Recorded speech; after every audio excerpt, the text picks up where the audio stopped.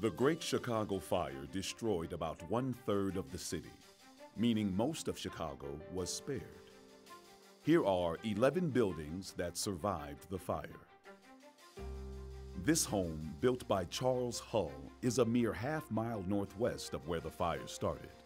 But the wind blew the fire northeast.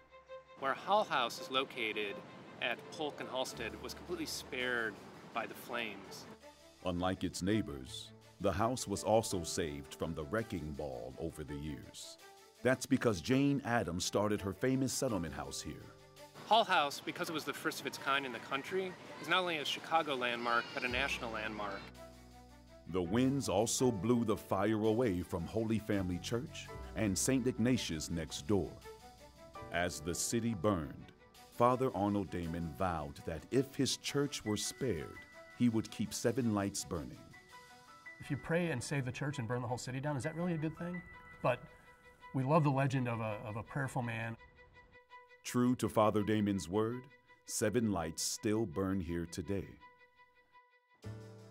Old St. Patrick's Church not only survived the Great Fire on October 8, 1871, it barely escaped another fire just one night earlier. St. Patrick's stood, though, and it was able, in the aftermath of the fire, to provide charitable services to those who were affected by the disaster. The Clarke House was safe, as was most of what's now the South Loop. Because its owner feared another fire, the next year he moved the house about 30 blocks south. We thought if he brought it all the way down to about 45th and Wabash, in what was then Hyde Park Township, it would be safe from any future disasters. In 1977, the house was moved again, this time back to its original neighborhood. The actual house itself had to be joisted over elevated tracks, uh, and it created quite the media spectacle as it kind of traveled from the south up to the north to eventually be placed where it still stands today. Only two buildings in the central business district survived the fire, and one of them was still under construction. The other, the Lind Block, survived thanks to its location. The occupants soaked the building with river water. They could go right to the river, fill up barrels full of water, take it to the roof of the Lind Block, and make sure that it was saturated and that any sort of stray sparks that landed on it, they could quickly put out. The building lived through another fire in 1896, yet another in 1899, and a fourth fire in 1955.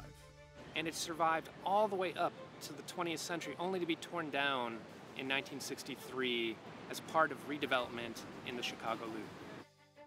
The water tower and pumping station are the most famous survivors of the fire. But the pumps inside the station were destroyed, cutting off water to the city's fire hydrants. And there went any hope that firefighters could do anything without a supply of water. They were helpless. Chicago's north side was the hardest hit by the fire. The Mahlon Ogden Mansion was the only house left standing for a two mile stretch. As a result, it would become a tourist attraction in subsequent decades. The house was eventually torn down to make way for the Newberry Library. This nearby church was largely destroyed, but the bell tower survived. It was incorporated into a new building after the fire. It's said that you can still see burn marks. I can see black streaks near the top.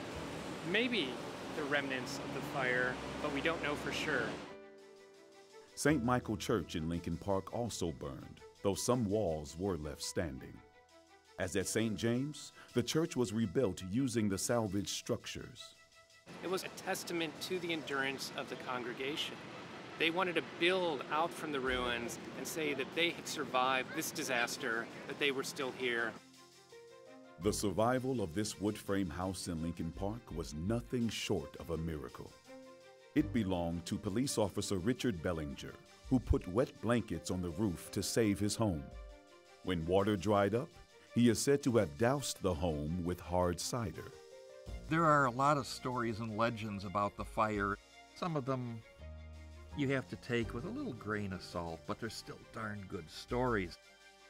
As the fire pushed north the morning of October 10, 1871, rain began to fall on Chicago. The fire finally started to burn out, just as it was approaching these houses. Its residents were lucky. Most of their neighborhood was gone. What you see in the days after the fire by people who left records is not only regret for the destruction, but almost a, a, little bit of guilt that somehow their homes had survived when so many of their neighbors have been impacted by this disaster.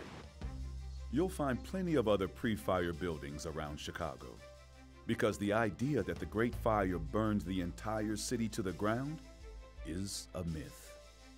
Chicago likes to tell big stories, and one of the biggest stories is the Great Chicago Fire.